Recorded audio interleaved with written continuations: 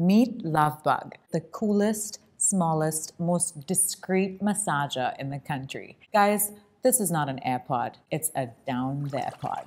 Lovebug is designed to look just like the slickest little Bluetooth headphones, complete with its own little charging case. Not only can you leave it lying around without a care in the world for who sees it, it's also so compact and travel friendly, you can just pop it in your pocket or into your handbag and take it anywhere you like. Don't be fooled by how tiny it is. Its suction tech is so powerful, it'll leave you breathless and hungry for more. It has five speeds and patterns to choose from, and each one understands the assignment. Place it on the C, and those sweet, sweet O's will be around the corner. Who needs iTunes when you can sing those Oh My tunes? Go check it out on Leezus.com.